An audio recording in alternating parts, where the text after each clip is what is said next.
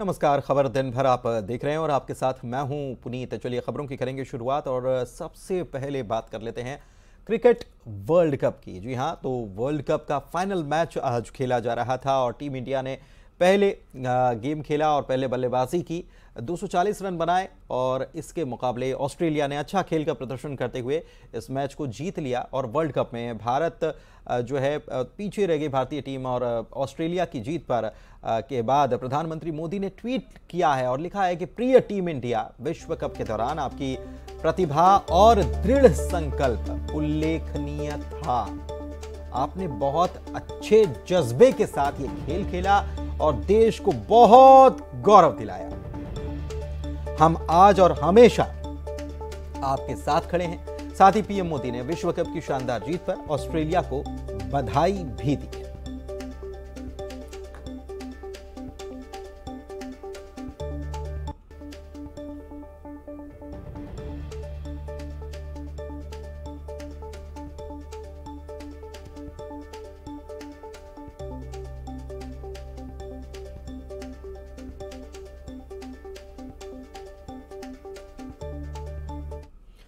World cup के final मुकाबले में टीम इंडिया को ऑस्ट्रेलिया के हाथों हार का सामना करना पड़ा, जिसके बाद क्रिकेट प्रेमियों के बीच में निराशा का माहौल है। टीम इंडिया की हार के बाद रायपुर में क्रिकेट प्रेमी निराश नज़र आए। बता दें कि अहमदाबाद के नरेंद्र मोदी स्टेडियम में टीम इंडिया और ऑस्ट्रेलिया के बीच वनडे क्रिकेट मैच का ये फाइनल मुकाबला खेला जा रहा था। और इसमें ऑस्ट्रेलिया ने टीम इंडिया को छह विकेट से मात दी है और कंगारू टीम पाँच फिर से वर्ल्ड चैंपियन बनी है।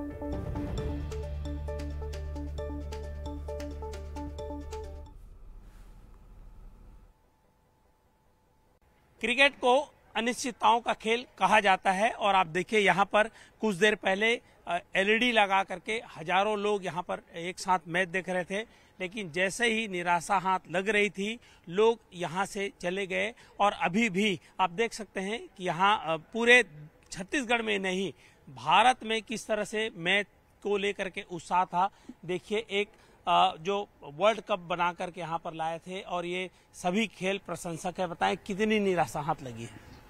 भैया बहुत ज़्यादा लगी, क्योंकि हम लोगों ने जो उम्मीद थी बारह साल से और इतनी, अगर धीरे धीरे अच्छे से खेलती, थोड़ा फाइट बैक करती तो अच्छा लगता, लेकिन फाइट बैक नहीं दिखा हम लोगों ने एक बार की फाइट बैक नहीं दिखा। क्या आपको क्या लगता है? पहले तो बल्लेबाजों ने निराश किया फिर बॉलर से भी हमें निराशा हाथ लगी। किस तरह की उम्मीद थी? जिस टाइप फ़र्स्ट इनिंग में उन लोगों ने बैटिंग की थी उसके बाद सेकेंड इनिंग में अगर बॉलिंग की है जिस हिसाब से अगर थोड़ा और दबाव रहता तो उस हिसाब से अगर चाहते तो इंडिया जीत सकती थी और वर्ल्ड कप आज इंडिया के हाथ में होता। जी। हाँ और अगर बॉलर जो है उन लोग जो भी है, सही खेले हैं। बैट्समैन भी सही खेले बट जिस टाइप का फ़र्स्ट मैच चला, आठ से नौ मैच उन्होंने जीता बट लास्ट मैच उन्होंने हारा तो थोड़ा बहुत लगा बट जीतती तो और बहुत खुशी होती, पूरे इंडिया खुशी मनाती है आज। आज दिवाली के रूप में जीत के हासिल में मनाया जाता है। बिल्कुल तो आप देख सकते हैं, चाहे बच्चे हों, बुज़ुर्ग हों, कोई भी वर्ग का, जो लोग हैं वो इस उत्साह मनाना चाहते थे, सबको उम्मीद थी कि लगातार 10 में जब इंडिया जीत चुकी थी तो 11वां मैच विश्व कप भी वो जी, जीतने के कागार पे थे और उम्मीद थी कि इंडिया ये मैच है वो ज़रूर जीत जीतेगी। लेकिन काफ़ी निराशा हाथ लगी है और छत्तीसगढ़ ही नहीं पूरे देश के खिलाड़ियों को आम लोगों को काफ़ी निराशा हाथ लगी है।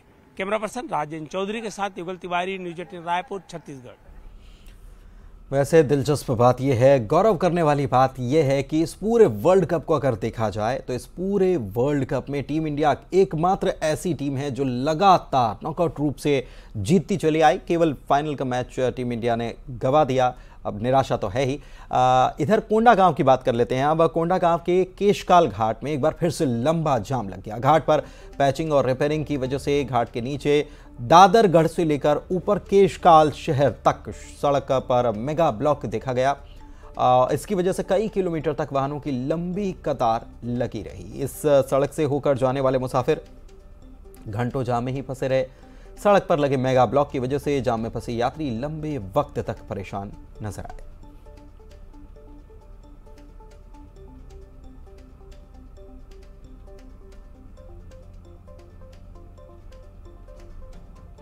तो दादरगढ़ और केशकाल शहर तक ये जाम और मेगा ब्लॉक ये बताया गया क्योंकि दोनों तरफ़ से गाड़ियों की आवाजाही रोक दी गई थी क्योंकि वहाँ पर पैच वर्क जो है गड्ढों में बहुत ज़्यादा गहरे गड्ढे हो गए थे तो यहाँ पैच वर्क किया गया और इसकी वजह से कई घंटों तक जो जा रहे थे लोग, वो परेशान नज़र आए। इधर छत्तीसगढ़ में रेल यात्रियों के लिए एक बार फिर से परेशानियों की खबर सामने आई है और एक बार फिर उन्हें दरअसल आने वाले दिनों में परेशानियों का सामना करना पड़ेगा। त्यौहारी सीज़न चल रहा है और इसमें अगर ट्रेनें रद्द हो जाएँ तो फिर ज़ाहिर सी बात है कि यात्री परेशान होंगे ही। अड़तालीस से ज़्यादा ट्रेनें दरअसल रद्द कर दी गई हैं इस सीज़न में। कल 20 नवंबर से ये सारी ट्रेनें रद्द रहेंगी और 20 से लेकर 29 नवंबर तक ऐसे ही ये 48 ट्रेनें रद्द कर दी गई हैं। इस दौरान राजनांदगांव, कान्हा रेलवे स्टेशन के बीच इस रूट पर नॉन इंटरलॉकिंग का काम किया जाएगा और इसकी वजह से ट्रेनों को रद्द किया गया है जब कई ट्रेनों के रूट में बदलाव भी कर दिया गया है।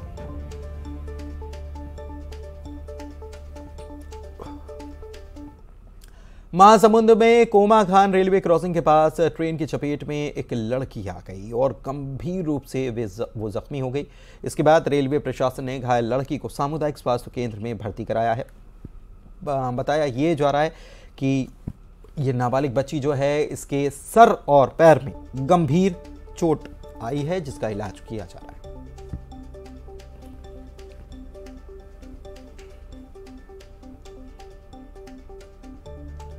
राजनांदगांव में ज़िले के तेईस हज़ार से ज़्यादा किसानों ने समर्थन मूल्य पर अपना धान बेचा है और इसके चलते ही धान खरीदी केंद्रों में धान की खरीदी तेज हुई है। आपको बता दें कि नौ लाख छिहत्तर हज़ार क्विंटल धान की खरीदी अब तक यहाँ पर हो चुकी है।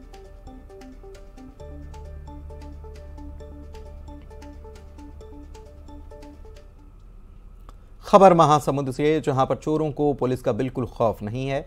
इस सीसीटीवी फुटेज को देखकर यही कहा जाएगा। तस्वीरें आपको दिखाते हैं कि कैसे यहाँ पर बदमाशों के हौसले बुलंद हैं। तस्वीरों को देखिए कि किस तरह से चोर एक के बाद एक दुकानों के शटर तोड़ते हैं और वारदात को अंजाम देते हैं। बसना नगर का यह मामला है, जहाँ पर hardware, daily needs, medical store, fancy store, electronic जैसी कुल सत्रह दुकानों में एक साथ चोरी की वारदात को अंजाम दिया गया। चोरी के बाद व्यापारियों में दहशत और गुस्सा दोनों देखा जा रहा है और व्यापारी इस मामले में सवाल उठा रहे हैं कि पुलिस की मुस्तैदी के बावजूद इस प्रकार की अगर घटनाएँ हो रही हैं तो ये क्या हो रहा है? कानून व्यवस्था नाम की कोई चीज़ नहीं है क्या? चोर एक साथ सत्रह दुकानों को टारगेट कर लेते हैं, एक ही रात में ये इस प्रकार की वारदात को अंजाम देते हैं। इस मामले में बाहरी गैंग के शामिल होने की बात भी सामने आ रही है। बसना पुलिस पूरे मामले की जाँच में जुटी हुई है और जो सीसीटीवी फुटेज सामने आए उसके आधार पर इन लोगों की पड़ताल कर रही है।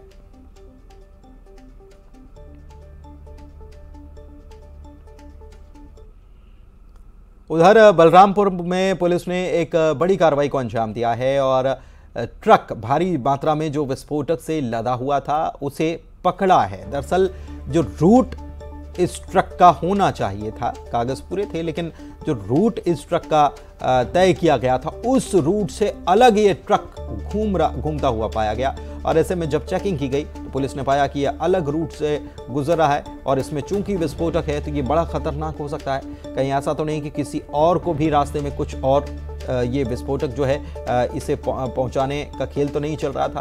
तो ऐसे में पुलिस ने इस मामले में ट्रक को जब्त कर लिया है और साथ ही इस मामले में दो लोगों को गिरफ़्तार भी किया है। तिरसठ टन विस्फोटक सामग्री इसमें लदी हुई थी। पुलिस ये कह रही है कि ये ट्रक महाराष्ट्र से विस्फोटक सामग्री लेकर मध्य प्रदेश जा रहा था, लेकिन इसका रूट जो है, जो तय था, वो रूट का पालन नहीं हो रहा था। को बलंगी चौकी क्षेत्र में चेकिंग के दौरान दो ट्रक विस्फोटक जब्त हुआ था, क्योंकि ये जो विस्फोटक था, ये रायगढ़, महाराष्ट्र से सिंगरौली, मध्य प्रदेश जाना था। इन्होंने जो रूट चार्ट बना हुआ था, उसका वायलेशन किया था, इसलिए इस पर कार्रवाई की गई है। इधर रायगढ़ के ग्रामीण इलाके में हाथियों के आसपास दिखाई देने से दहशत का आलम है। खरसिया की बात कर ले तो खरसिया के चोढ़ा में दस हाथियों का दल घूमता हुआ नज़र आया है। दतार नाले के रास्ते से खेतों को पार करते हुए बानी पथरा की ओर ये हाथी जा रहे थे और इसी समय किसी ग्रामीण ने हाथियों का ये वीडियो बनाया है। देखिए तस्वीरें। ये सोशल मीडिया पर इस वक्त वायरल हो रहा है। वन विभाग ने हाथियों से सचेत रहने के निर्देश लोगों को दिए हैं। मुनादी कराई जा रही है।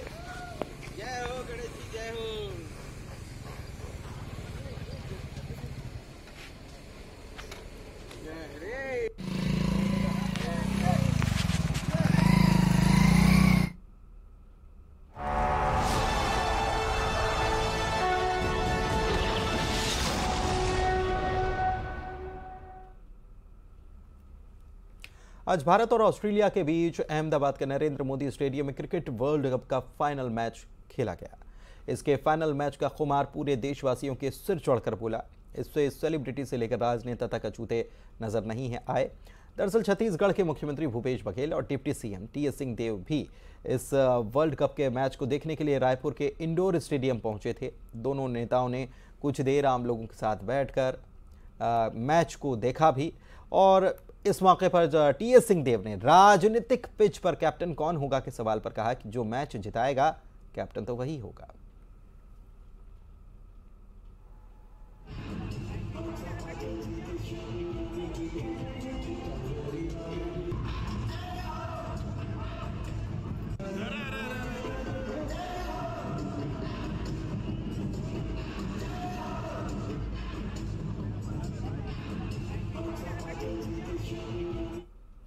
अंबिकापुर में वोटिंग के बाद मंत्री अमरजीत भगत अपने परिवार के साथ वक्त गुजारते नज़र आए। मंत्री ने कहा कि चुनाव के चलते वे उनकी माँ से काफ़ी दिनों से मिल नहीं पाए थे। उन्होंने पांचवी बार सीतापुर सीट से जीत का दावा भी किया है।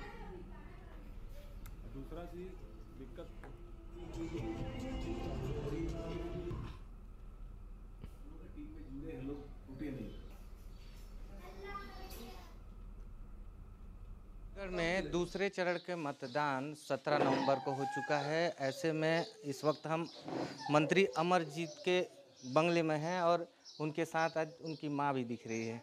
कितना रिलैक्स महसूस कर रहे हैं वोट खत्म होने के बाद? हम तो पहले भी रिलैक्स थे, आज भी रिलैक्स है और आगे भी रिलैक्स रहेंगे। हमारे सेहत में कोई फ़र्क नहीं पड़ना है। और सीतापुर विधानसभा की जनता को मैं प्रणाम करता हूँ। वहाँ का लोगों का झुकाव लोगों का जुड़ाव।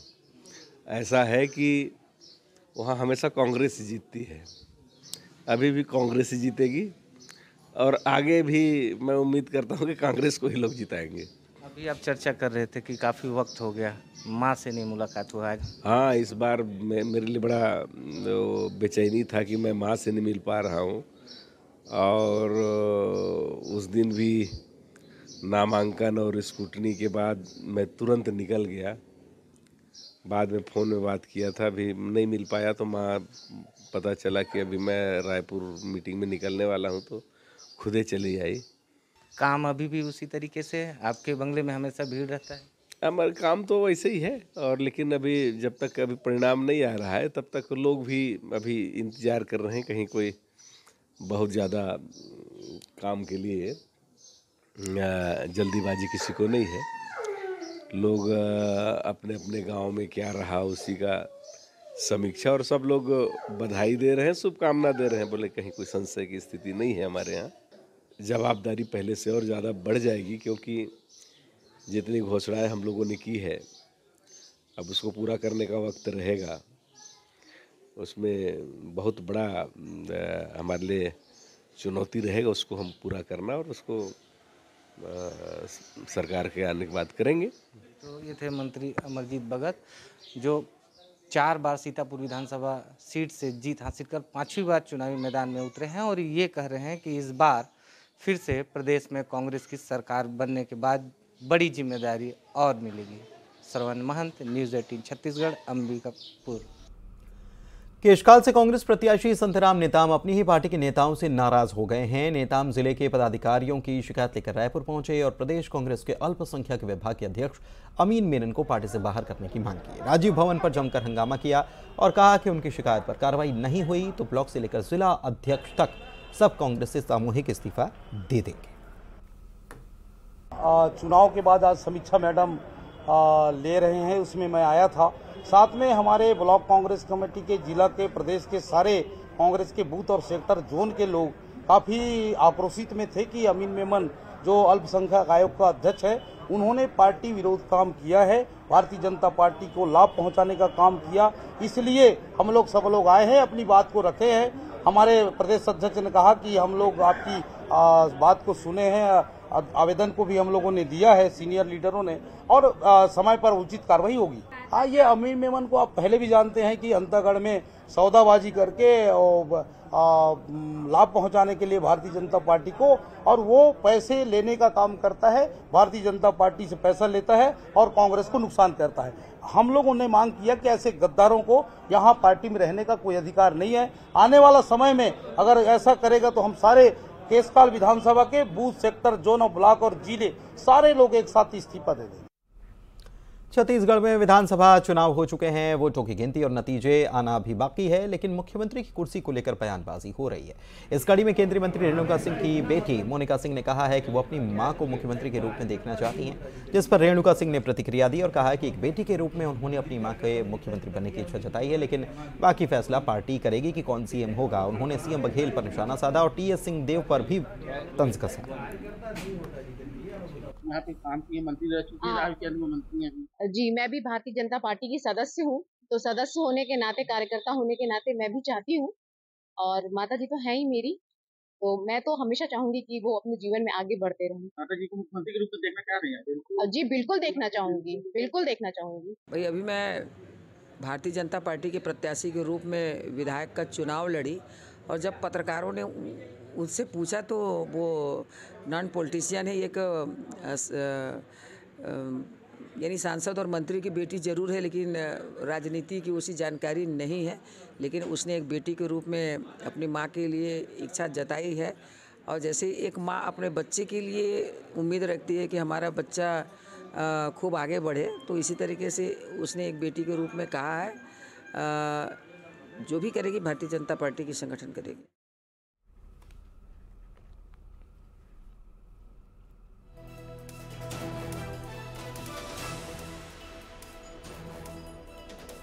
तो मुख्यमंत्री के रूप में अपनी माँ को देखना चाहती हैं। रेणुका सिंह की पुत्री हैं और केंद्रीय मंत्री हैं रेणुका सिंह और इस बार आ, उनको चुनावी मैदान में उतारा गया है। तो ऐसे में जब बेटी ने ये बात कही है तो अब सवाल उठ रहे हैं तो उस पर उनका कहना है कि बेटी की इच्छा है लेकिन पार्टी ही तय करेगी कि आ, क्या फैसला इस पर लेना है।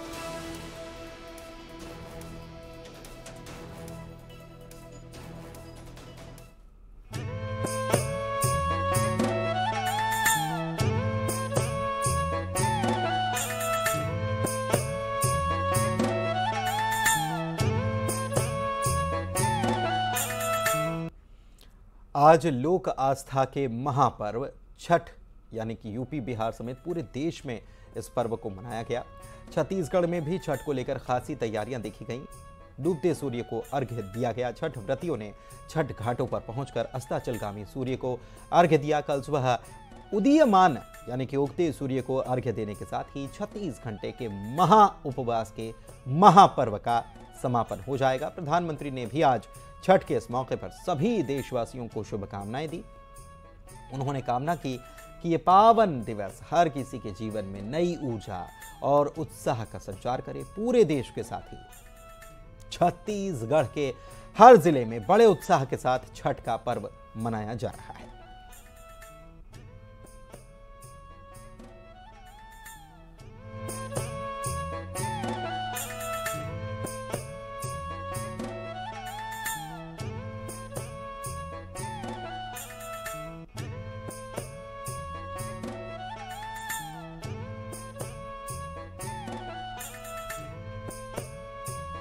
तस्वीरें आपको अलग अलग जिलों की दिखा रहे हैं।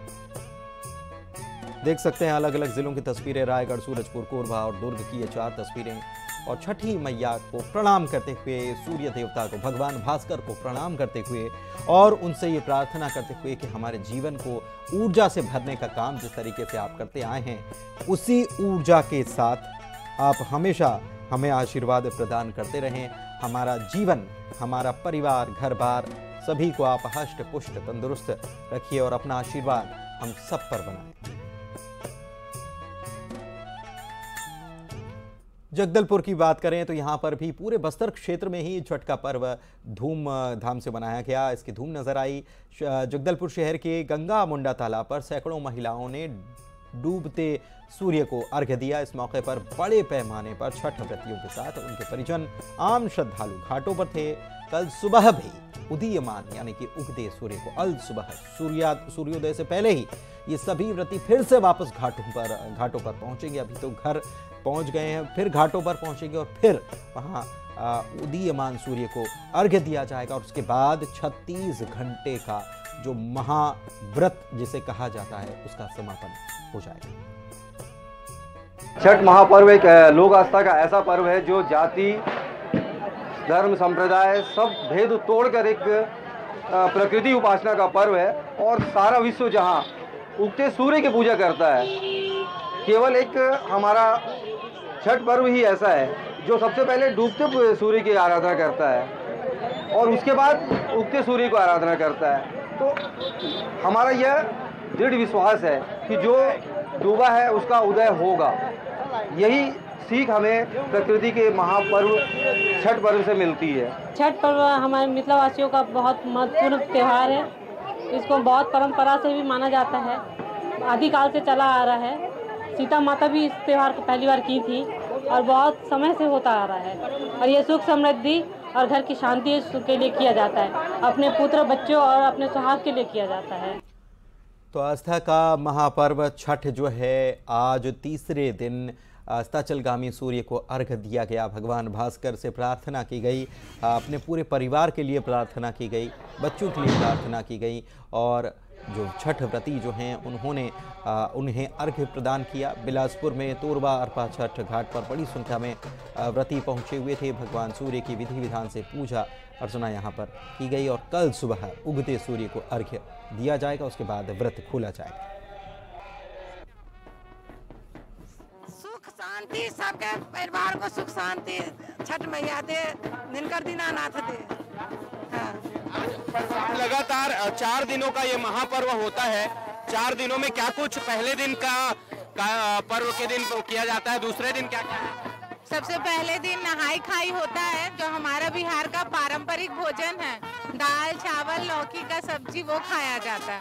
अगले दिन पूरा दिन व्रतधारी उपास रखती है और वो शाम को चावल और गुड़ का खीर बनाती हैं और वही खाती हैं।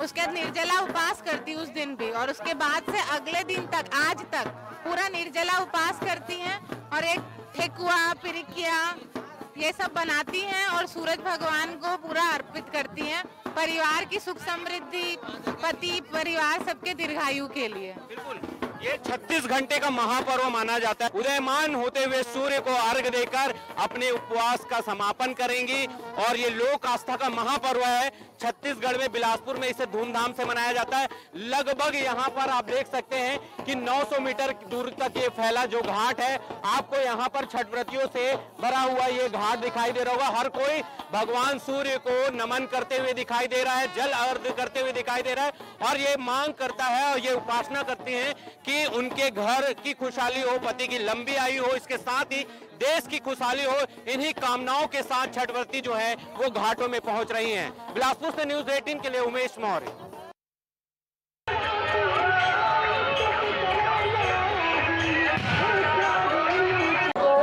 छठ का पर्व आज संपूर्ण भिलाई दुर्ग में हर्षोल्लास के साथ मनाया जा रहा है। परंपरागत तरीके से मनाया जा रहा है। मैं आपको दिखाना चाहूँगा, भिलाई का सबसे बड़ा ये तालाब माना जाता है। सबसे प्रमुख ये तालाब भिलाई का सकट्टू का तालाब माना जाता है, जहाँ पर प्रतिवर्ष की तरह हज़ारों की संख्या में यहाँ पर देख सकते हैं कि किस तरह से परिवार यहाँ पहुँचे हुए हैं। खासतौर पर उत्तर भारत का ये प्रमुख त्यौहार कहलाता है। और यही वजह है कि प्रतिवर्ष की तरह इस वर्ष भी बड़ी संख्या में यहाँ पर लोग पहुँचे हुए हैं। किस तरह तरह से छठी मैया के गीत गूंज रहे हैं। आप देख सकते हैं व्रतधारी महिलाएँ 36 घंटे से लगातार व्रत रखी हुई है और देख सकते हैं कि कितना सुंदर मनोरम ये दृश्य है। जिसको देख कर आपका भी दिल खुश हो जाएगा। ये देख सकते हैं कि चारों ओर यहाँ पर लोग ही लोग नज़र आ रहे हैं, क्योंकि छठ का पर्व काफ़ी महत्वपूर्ण माना जाता है। और यही वजह है कि परिवार की खुशहाली के लिए, संतान की खुशहाली के लिए ये व्रत किया जाता है। काफ़ी महत्वपूर्ण ये व्रत कहलाता है। कुछ लोग से बातचीत की आज छठ का पर्व कितना महत्वपूर्ण मानते हैं बहुत बढ़िया हम लोग बहुत धूमधाम से मनाते हैं। और ये देख ही रहे हैं यहाँ का मजमा। बहुत बढ़िया रहता है। आज किस तरह से करेंगे आप लोग? आज क्या क्या होगा? आज ये आज के कार्यक्रम ये जो चल रहा है, अब सवेरे फिर हम लोग आएँगे छठ घाट के ऊपर और खुद को खुद को ये दे हाँ अर्घ देंगे। सुबह भी अर्घ दिया जाएगा। ना सिर्फ़ सबसे बड़ी बात यह है कि भिलाई की ये परंपरा रही है कि कोई भी त्यौहार जो है हर्षोल्लास के साथ मनाते हैं और यही वजह है कि आज जो उत्तर भारतवासी ही नहीं, बल्कि संपूर्ण भिलाई जो है, वो उमड़ पड़ा है। मैं आपको दिखाना चाहूँगा कि जितने लोग यहाँ पर पहुँचे हुए हैं, उनमें कोई ज़रूरी नहीं है कि उत्तर भारतीय हो, बल्कि हर प्रांत के हर तरह के यहाँ पर लोग शामिल हैं जो इस पर्व को धूमधाम के साथ मना रहे हैं।